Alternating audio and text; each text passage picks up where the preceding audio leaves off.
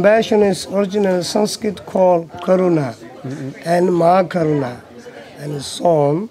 Anyways, Nyingje Chenpo. So who suffering, painful, is taking care, what is compassion? Mm-hmm. So that means somebody fall down in the fire inside. This person to try to take this fire inside this suffering person. This kind of mind need to be. That's all.